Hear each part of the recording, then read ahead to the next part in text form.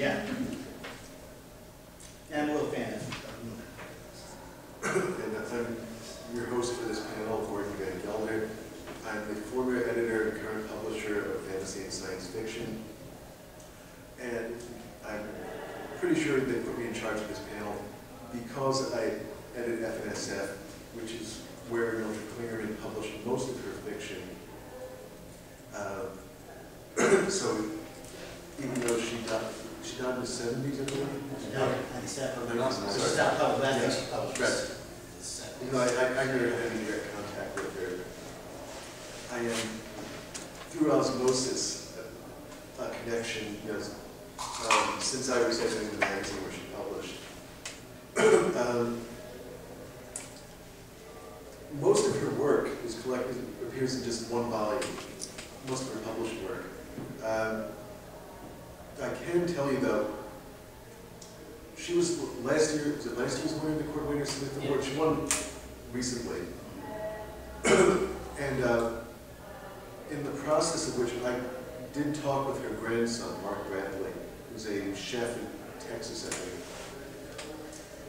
And he told me that although she didn't publish that much fiction after the sixties, she was always writing and doing things, and I think he said she would write crossword puzzles and get them published.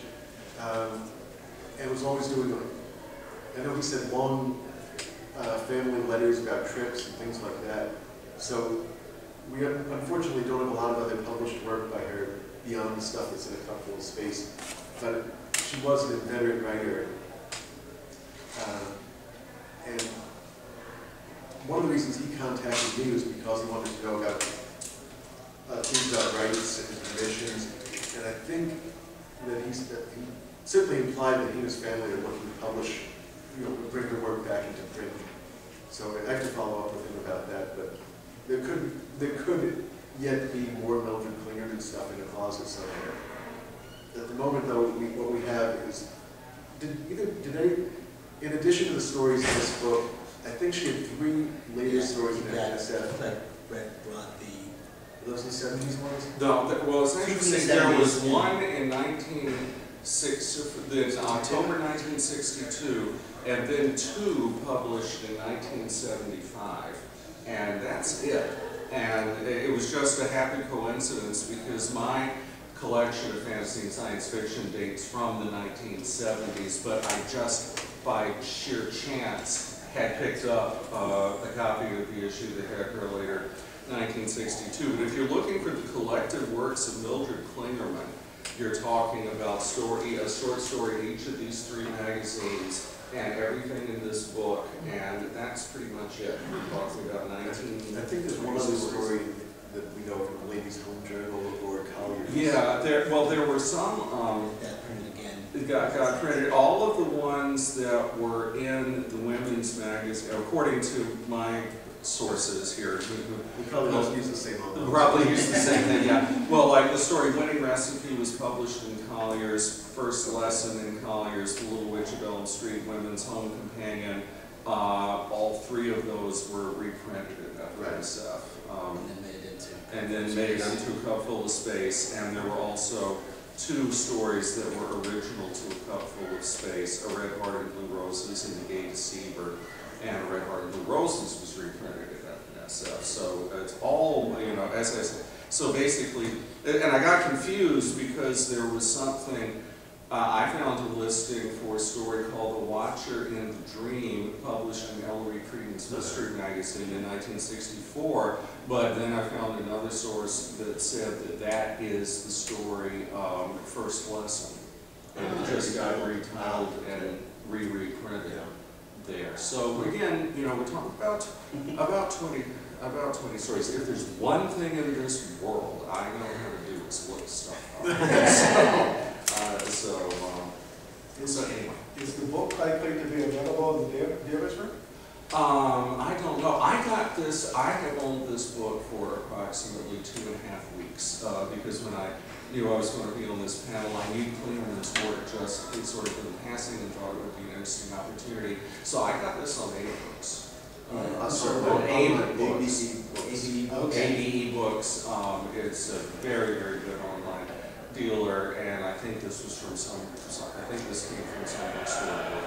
Yeah, there, there, when I looked, there may be ten copies available on there, varying prices, most of that seven or eight dollars.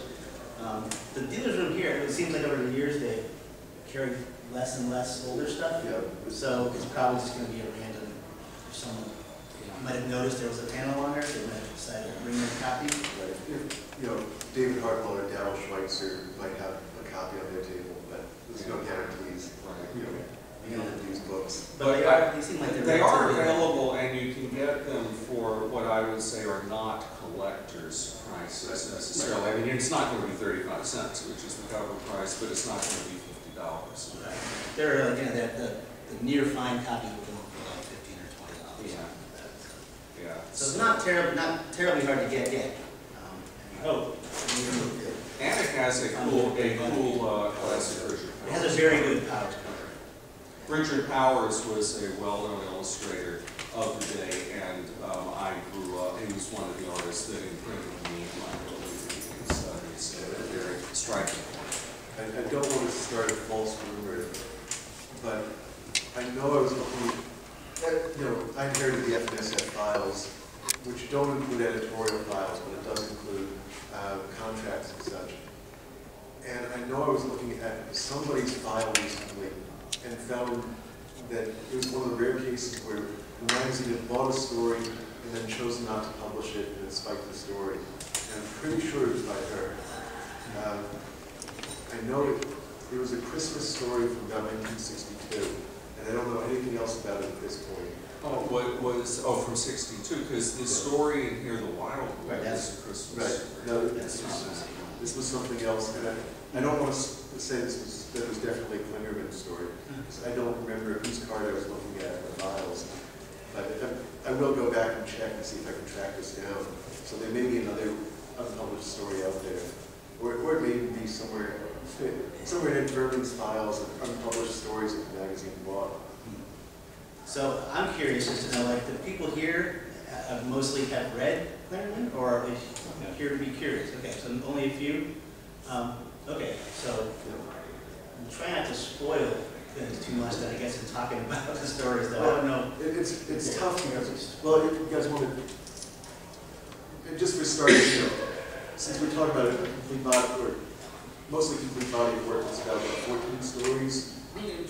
Total about twenty after the ones that, Yeah. the Yeah. later ones. But in this book, I think there's sixteen, or fifteen or sixteen. But I think we, I, I can certainly feel comfortable generalizing about them and saying that they're almost all neat little character portraits, um, connected to a story that hinges on usually a fantasy element, but often with a surprise element to it, a surprise Little twist to it. Twists. You know, very much in the old Twilight Zone vein. Uh, and some of these would have made great Twilight Zone episodes, I think.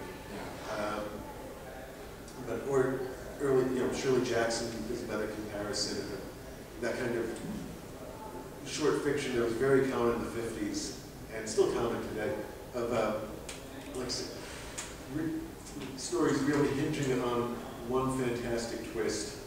And so it, it, we, it's tough to avoid spoilers in some of You these. can, hardly- you can almost not describe the story at all without explaining the twist, because it's about the only thing that's really of a plot nature in it.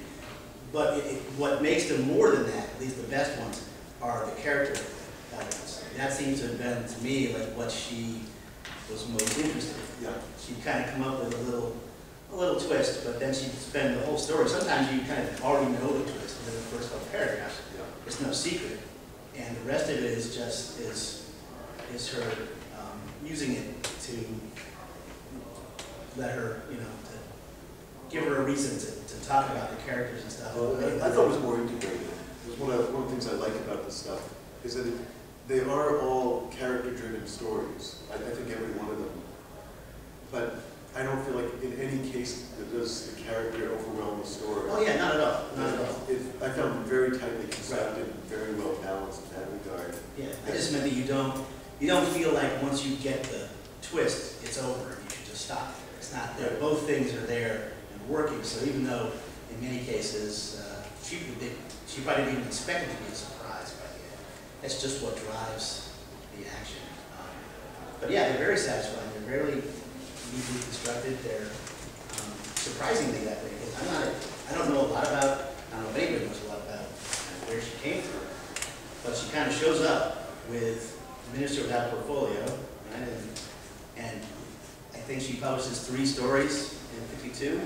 You know, up, uh, Nobody brought up the Eureka years, did they? No. I don't, I, I, I went looking, now here's a neat moment, I, I saw, I remember, I saw a reference to that, and I said, oh, I've got that.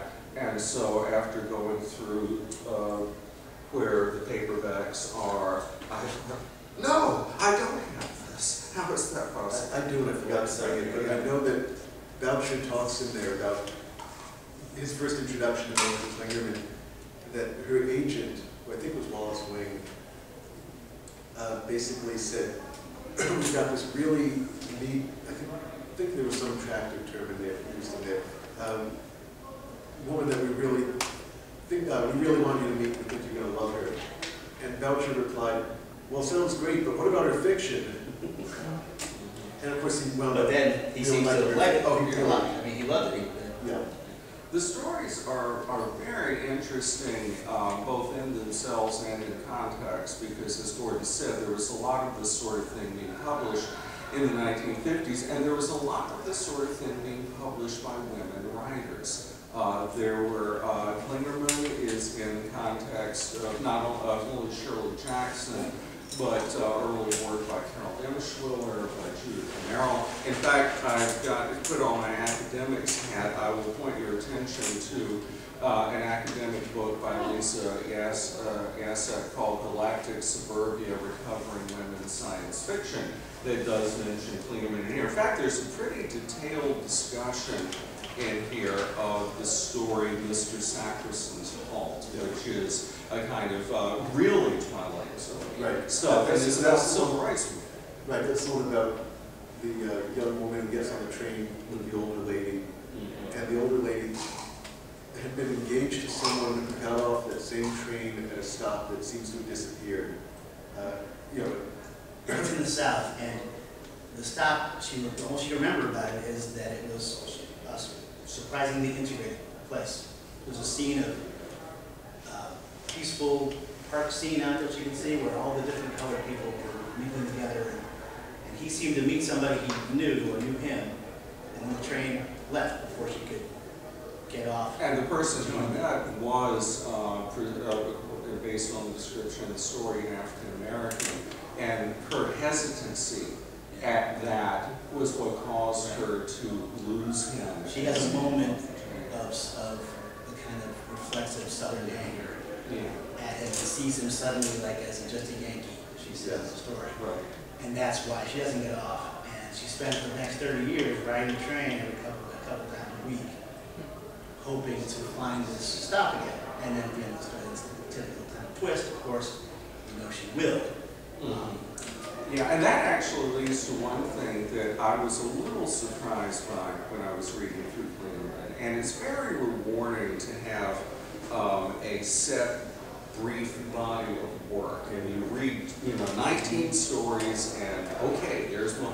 Rick Clingerman's work, because I think, no, the program description was talking about the darkness of the stories and comparing them to Shirley Jackson, and in particular, uh, the threat, the male threat, and that, you know, that- that's there, but it, with a couple, this is kind of globally spoilery, but, but the, with a couple of exceptions, the stories usually resolve in some level of positive nature, that, that, the you know, the wound is healed, the protagonist, uh, avenge after much trial and tribulation gets what he or she wants. In some of the shorter, more verbally comic stories, um, you know, they, they, the woman almost inevitably is able to one-up whatever force, usually male, is against her. The other thing is that despite the presence of the male threat, and there are two of the best stories in here fundamentally about rape.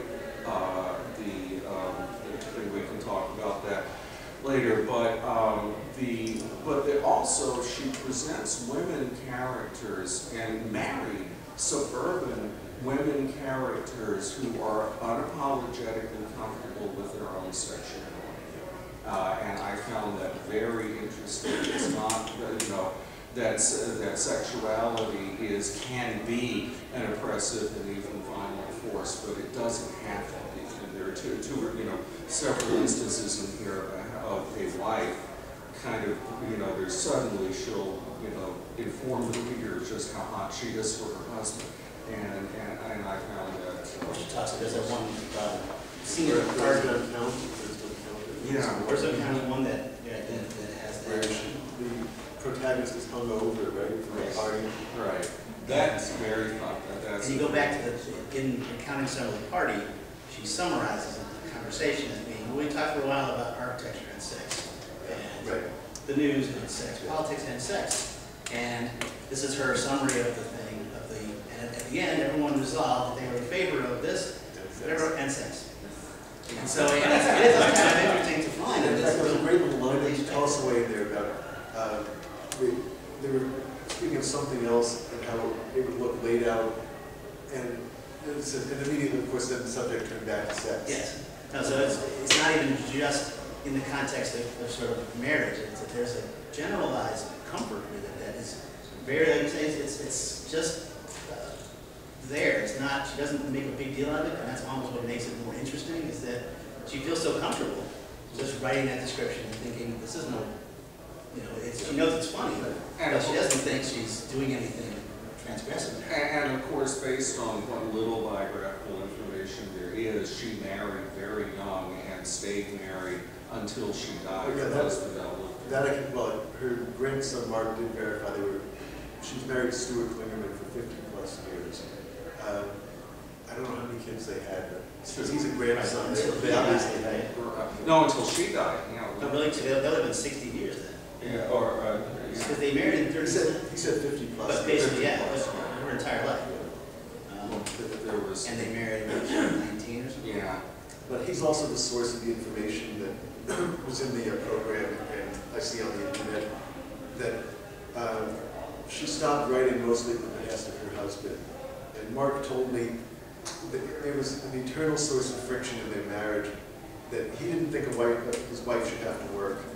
And she was always doing these stories, and he felt like in a, you know, an old school gentleman sort of way that it wasn't dignified for her to be writing these, these fantasy stories. He was always trying to get her to knock it off, and she was still doing it. And he said, it, you know, they just kept sort of uh, butting heads over it until she finally gave up and stopped sending stories out. Whether or not she stopped writing them, I'm not sure, but. the- Yeah, that's, and that, that, that dynamic shows up in at least half the stories very explicitly in a, a marriage where the husband, in one case, it's inverted, it's the wife who is exerting all this pressure on her partner. Oh, that's the one about to be, to be, um, where the It's the, the Little Witch. neighborhood, yeah. Little Witch has the, the couple that, it- where the wife is the one who's in charge and is is dictating how life will be and squashing the spirit Right. of her This spouse. is insisting everything has to be in its proper It's place. super neat, Yeah, crazily neat.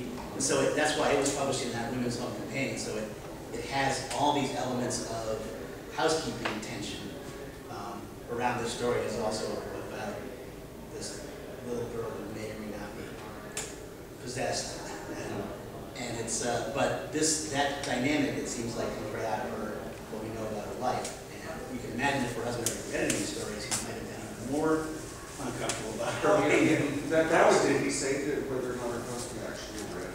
He didn't say. Okay. So we don't, Yes. because she didn't keep, there was no, no secret in these things about how she felt. See, I, I, I, I get, I get that from the stories, but I also look at the stories, and I, I think, I, I don't see them that way, because I see them as being su- such astute portraits of women, that I don't think she was writing about herself, you know, Not always, yeah. you know, to the extent you're always writing about yourself at a certain level, but I think she was writing about the people that she knew and saw. Hmm.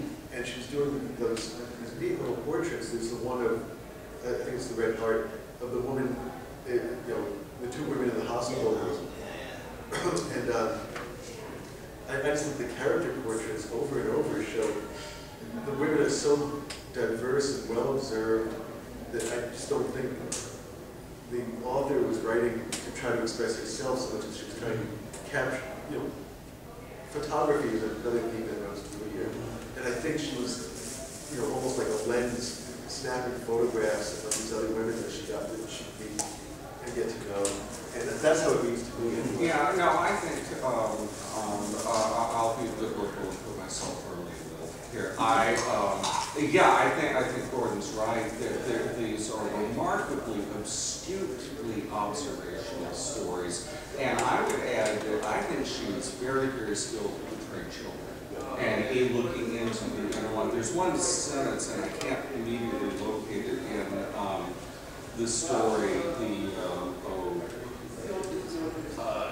uh, it, it was the one about the, um, the, uh, where they're having the, the picnic in the graveyard and, um, um, the day, not the day, a day for waiting. Yeah, where she is just suddenly, you know, the, and that's a story that starts very darkly and ends uh, with more of a sense of, of, of ends on kind of grace, a moment of grace. Oh, holy, yeah, I mean, it's, it's, um, it's a little portrait of, of the grief process, and it really works, as well as being a kind of her story. Uh, Yeah, the children are, little- I think, so there's no question that she's doing that. It was the repetitive quality of this one, which of course is based at the time. Right. She may have observed lots of women who were in this kind of relationship.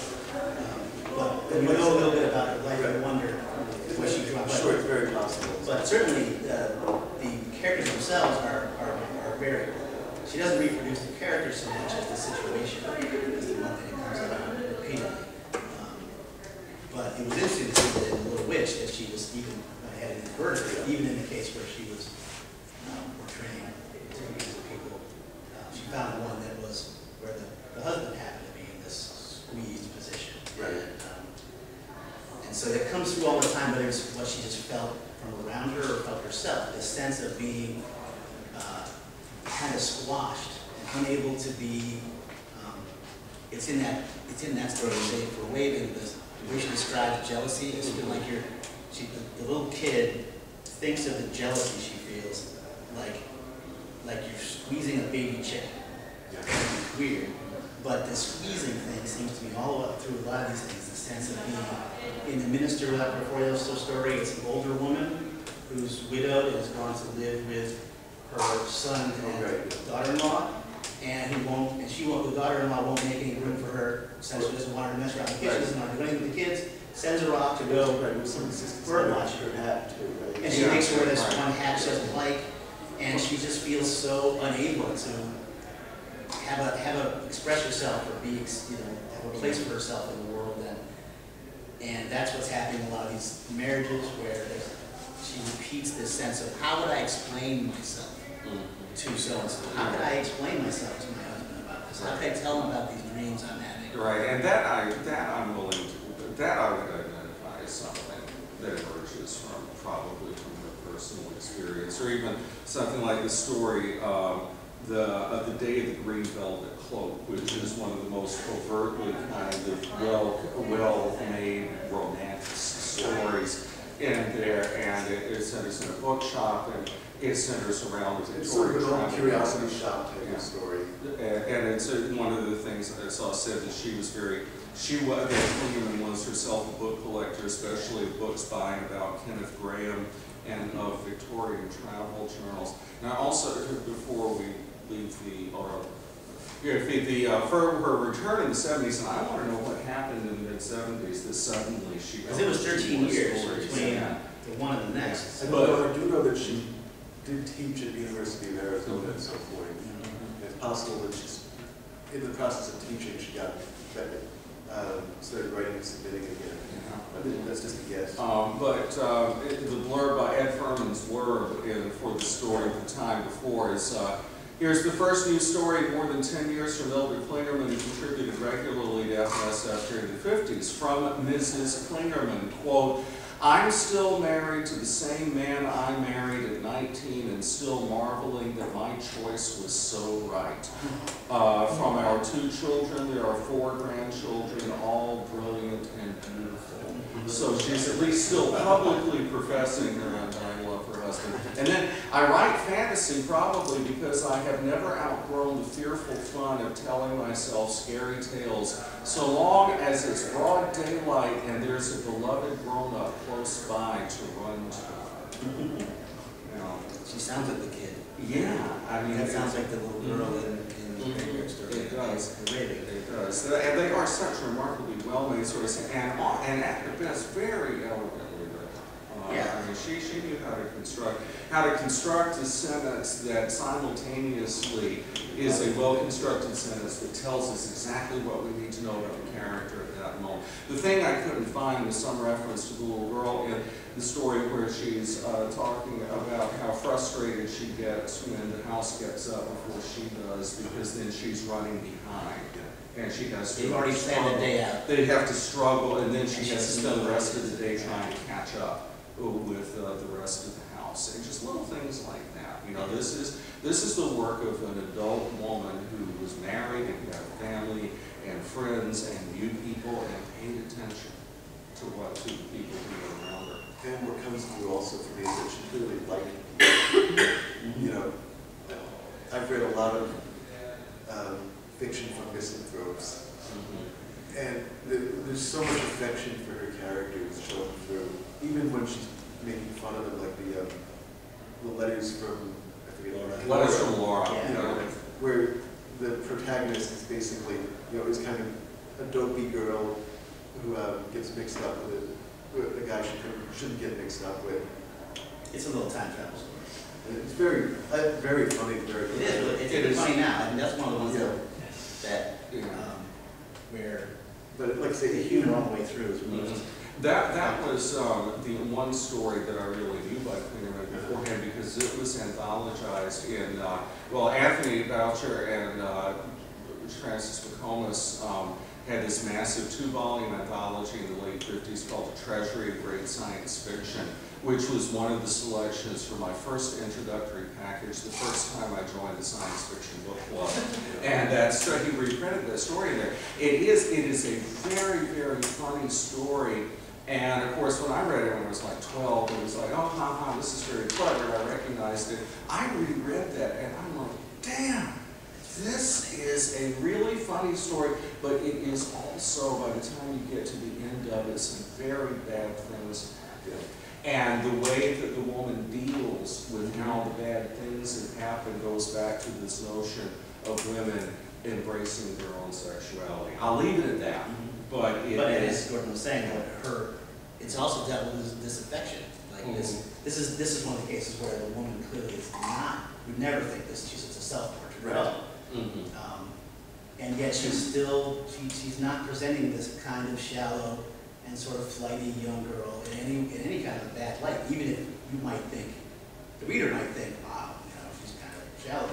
But you don't ever get the sense from the author that you should dislike this person. Right, really condescending. No, Mhm. no, and so it's, and that's, I think, why it, it is, has had more to offer you when you read it again, as older, is that it's got more in there. There is more in there, and as I said, there is an unexpectedly um, unpleasant, I found, Mhm. if I'm reading it correctly. No, think, yeah. An unpleasant twist that she deals with in a quite striking way, and uh, it's a very funny, and clever story. I mean, that one, and, you know, I, I guess if there's an inevitable question of what are your favorites um, in there, I would say that one, the two stories that I think are the darkest ones, uh, The Wildwood and A Red Heart and Blue Roses. I mean, that's, uh, Red Heart and Blue Roses in particular is, I think, is getting into Shirley Jackson territory.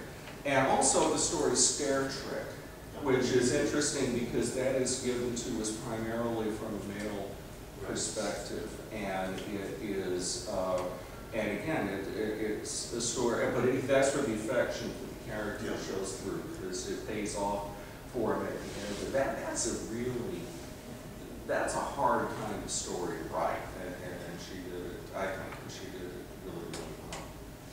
Yeah, and that's one that I think has, and I, I don't, I mean, I think that this, again, because it's not so much an autobiographical fact, Right. it's hard for me not to read this as part of her own, her own experience. Yeah. is that she returns in these stories often just as an aside, or as a small moment in the story, it doesn't have much to do with the plot, um, to this vision of, of, of a, a a moment between two people where you, they, they immediately identify a sense of sympathy, of kindness, compassion, and embrace, that you seem to feel like she herself must have had some of that kind of longing that she puts into these people, because it's, it, the way she describes it repeatedly in different stories, it seems like it can't be an accident that this was something she imagined, whether she felt she once had it, that that may have been the basis of her marriage, or whether she just always wanted it. I, I, I inferred, I, I felt the same thing, but I inferred rightly or wrongly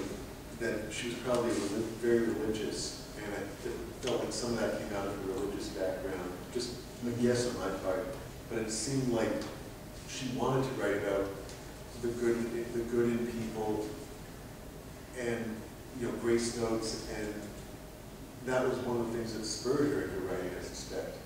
You know, it, I don't think any of the stories were overtly religious, except maybe the, um, The Last Prophet. yeah, That's really interesting because we can't, can't always spoil it all. Right. It has, it, it seemed to me at first to be like, just, not in a bad way, but outright religious. This would be her one chance to glimpse yeah. She got very close to it. But then there's a little part at the end where, I don't know how to interpret it, but it seems like it flips it over a little bit. It doesn't simply accept the presented religious thing wholeheartedly. I'm not sure how to read it yet, but Right, I think that, I, I agree, there's, a- I'm trying to decide how much we should say about it. It's, it's another character portrait of a man, actually, right? Yes, is a man, Kind of, kind of a, a, par- a bore at parties, who's always telling people his theory. That's, well, that's right, I was trying to people away, Right. out, but boring them death once they leave before you can finish. in every discussion or every conversation, there's a, a moment of dead silence, a big lull in the conversation. And he, his research has found that it's always twenty minutes after the hour. And he's traveled the world going to parties, and he's, he's a rich guy. And so he's got this, where he spent his time, and he's got twelve thousand something instances he's traced where it's always at, at this. Once in a while, it's a twenty of, that's just because, like in anything else, nothing's perfect in the human world. But those are, those nineteen cases are obviously Right. outliers.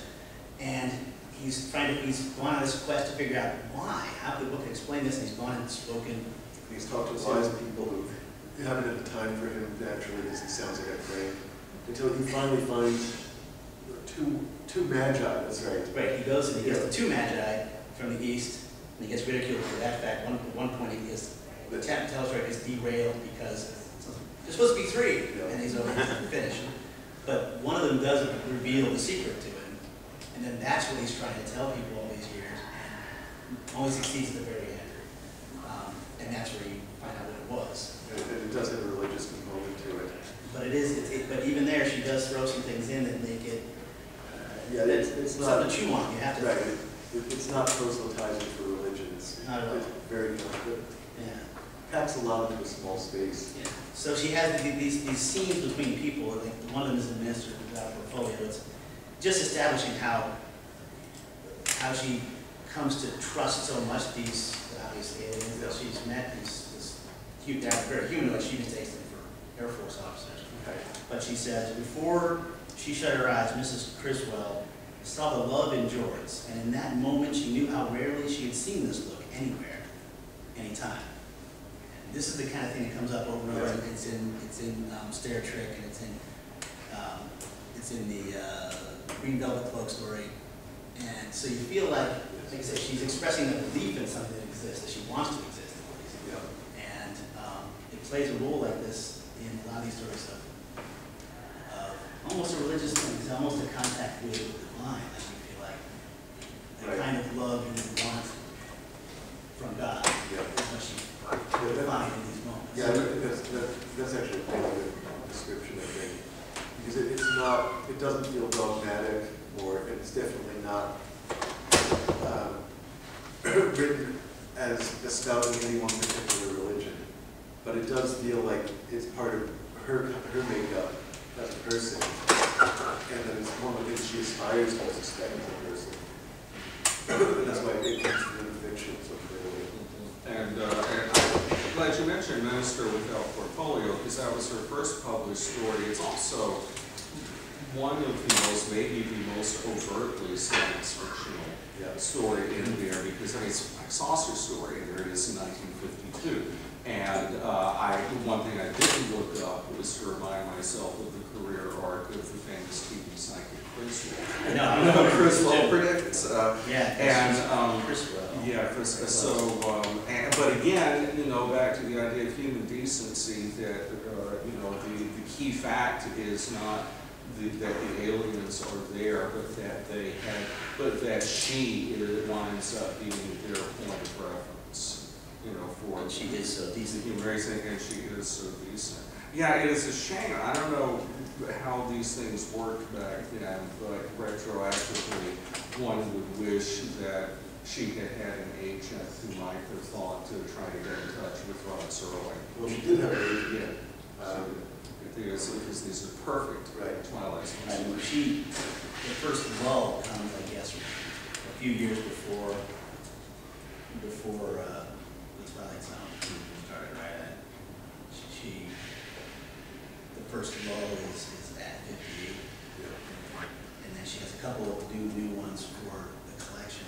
And that's the, what, as you said about it being one of the most overt, um, science fiction ones. It's called a cup full of space, but we all know how they used to do these things. Um, They thought that was the best way to sell things. There's, there's maybe two stories that are strictly science fiction. Um, Most of them are fantasy, yeah. um, and, and maybe even a little bit horrific. Yeah, so, well, I think that the Wild, again, the Wildwood and the Red Heart Blue Roses, are very, very good. Also, in terms of her as a woman writer, just in terms of, uh, fifties context and all that, I was very amused by just the, how the book was, uh, packaged. A cup full of space, all right, a heady brew of science fiction stories, and on the back it says, recipe, Yes. recommended ingredients, blend the above with bygone or beyond, now cook over low flame, yields an unmeasurable serving of pleasure. So the whole thing is thoroughly domesticated, all right? And there is in fact one, the, one of the these I was other gonna overtly science fictional stories, they're Yes. called Winning Recipe. There's a recipe. Recipe, winning recipe. That one's from, uh, that actually showed up in, um, was it Collier's story Yeah. first? Yeah, that did kind of remind me of like those Heinlein stories that were the Saturday Evening Post, Yeah. uh, you know, housewife versus machine. Right. Yeah. Yeah, it's got a very, um, it's got a very uh, accessible portrait of the mechanized future, so it's not one that you can see why it didn't have to appear in a science fiction magazine. And it was, yeah, it was the woman uh, wrestling ultimately with what they call the, the kitchen autocrat. The kitchen Just kind of cook, cook anything and would render her obsolete unless she could figure out a recipe to give it that it couldn't couldn't produce. Um, Very Jetsons-ish. Yeah, so. Oh, it- way it- Jetsons. Yeah, it, so you can see why, it- she wasn't, she knew, she knew she wasn't developing some original interesting look at the future. She was just, again, doing what she Right, that, did, that, that was, saying, um, struck me as a very typical story from the Slicks. yeah, that's why you can see right where everybody why it went there. But you can also see in the character stuff why that stuff was interested in taking it too. Um, It wasn't only that, which a lot of those stuff ones were, with everyone. They didn't have much interesting for the science fiction audience, some of them. Yeah. but hers did. Uh, Another thing that, a story we haven't talked about, but I think is one of the funnier ones, is the, um, the vaguely Lovecraftian Stickney and the Critic, Yeah. which, um, it's, uh, Uh, Is that, is that from a kid's point of view again? um, it's, it's, yes, well, it's from an old, from someone who's now older remembering Okay. Who, who most of their life here was on the farm in Oklahoma, which is where, where she was born. Right. um, it has a strange well on it that clearly has some kind of a monster in it. And they've always gotten by, the kids all learned early on to um, toss it a chicken every now and then, keep everything fine.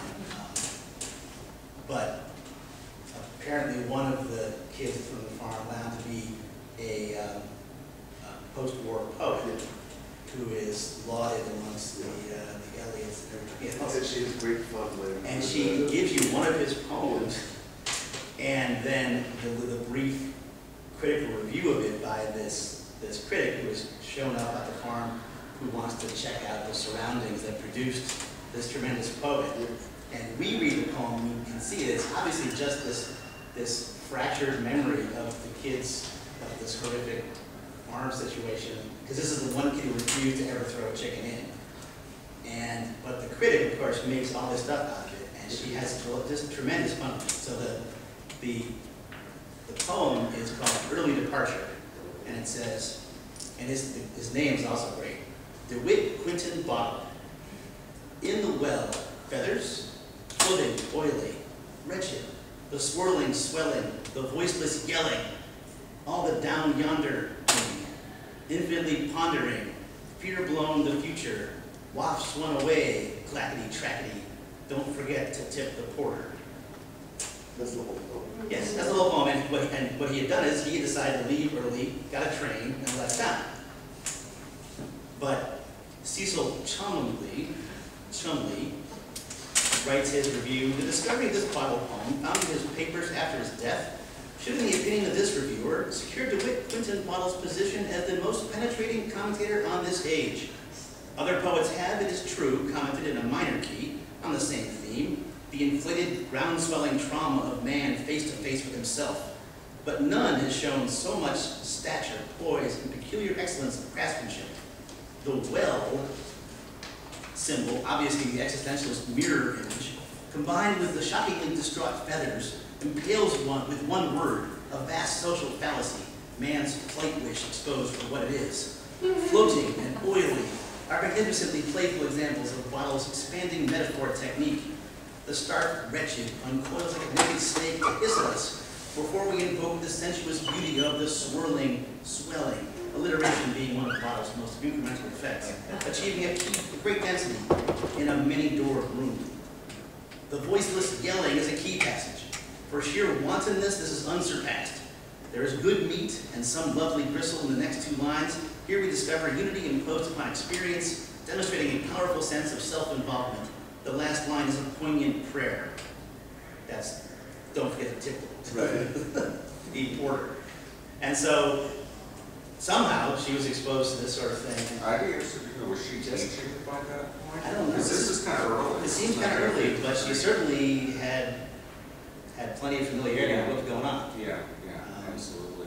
I, I just want to very quickly mention one other story, uh, in here, and that is the story The Word, which is basically a kind of joke story, but I don't know if anybody remembers, uh, the movie Stra- uh, was it Strange Invaders? Yeah. Uh, you know, oh man, if, if that story, somebody involved with that movie read this they may never remember it, yeah. there's no doubt. Yeah, because it's exactly the same premise, just exactly the same premise. And The Little Witch, I would say, is another one that's um, funny, but it's full of that kind of acute observation, I think. Yeah, um, it's one of the most successful. I think we're running out of time, so yeah. any questions? Yes. Yeah, I, I just wanted to point out the uh, some of the context for Stickney and the critic is that this was written in the mid-1950s at a time when serious literary critics only noticed science fiction when they could attempt to trash it at great length. And Mildred Clingerman's punchline to the story, which probably isn't that much of a spoiler, is, if anybody could swallow modern criticism, Yeah. Stickney could.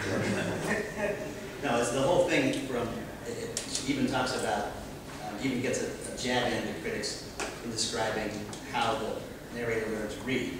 That's beautiful, yeah. A beautiful little. So yeah, that whole, whole story, something got, got going, whether it's about science fiction, just about the impenetrability of academic writing at the time, and or sometimes today. No, You can find plenty of things like that right now. um, So yeah, she just had that kind of delightful ability, and you sort, you really wish that there were much more, because that's one story, the only time that she goes anywhere near this stuff. And she does it all, and it's over, and you kind of, I found myself wondering at the end, thinking, well, what could we have had if she had, if she'd written for thirty-five steady years or something, how much, um, else might have been, because her portraits are so nice.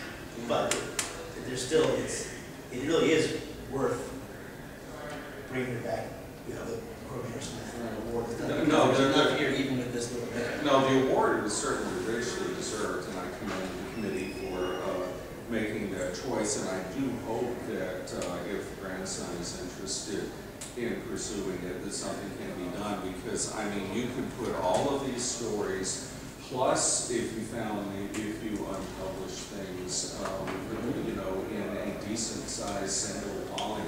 And, and it- it would be a perfect project for uh, a university press or, uh, um, I don't know. More globally. Yeah, or act, uh, That's what I was looking for. yeah. It's Like you said, it, it's a rare case, but it's really interesting to, you have all, all the work. You can just take, you know, a fairly brief volume and you. Yeah. Do, do we know, is, does the Clingerman family know that she won the award? Yes. They, okay. Yes. Sometimes, you know, there, Yeah. there's always be no one to tell. I talked with Mark about it last year about the award, he was very happy. Uh, that's where he told me some of the, some more detail. Um, I, I thought I put Ellen in touch with him to get him to try to write something for this year's program book, but I guess that didn't happen. So I I don't think he's much of a writer, so I I don't know. What the story is. You could cook some- Is it? I think so. Okay. Yeah, but, um, and- and no, I mean, she's well worth discovering, and also, again, worth reading in the, in the context that, uh, oh, we only have five minutes. Uh, The, the, uh, uh, context of Lisa's book on galactic suburbia, and, you know, think Judith Merril, uh, Carol Emshwiller. I'll also mention, although I just she's. see, like, Idris Seabright, yeah, um, and, um, the, although she's later than the writers we just mentioned, uh, one of my favorites is also, um, not well, that well remembered these days, Sonya Dorman, uh, who also published a number of stories in F&SF.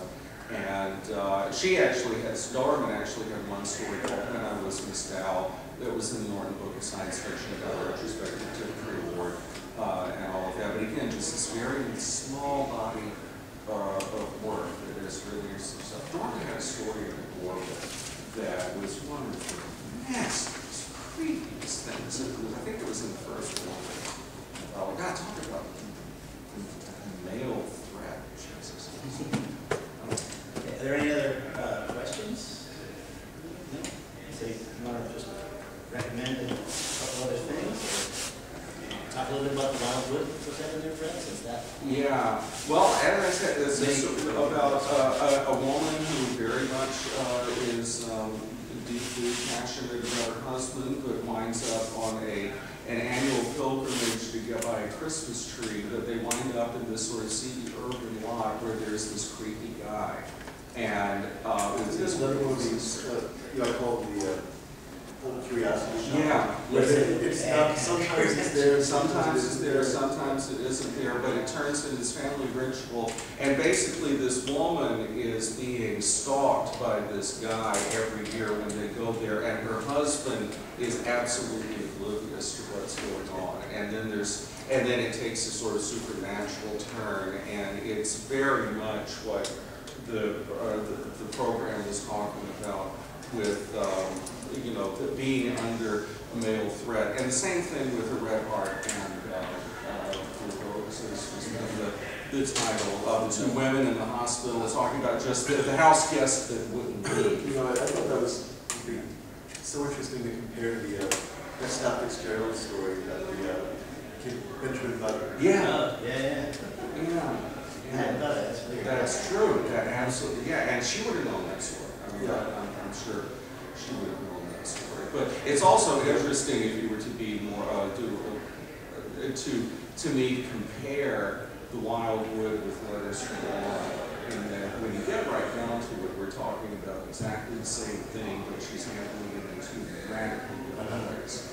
So, Yeah, uh, just to give you a sense of, of the, the whole different tone that she pulls off in there and how disturbing the Wildwood is.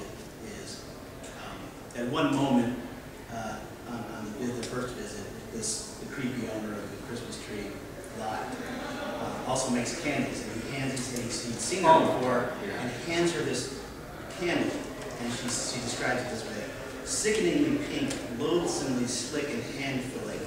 It would have been cleaner, more honest, she thought, if it had been a frank reproduction of what it was intended to suggest.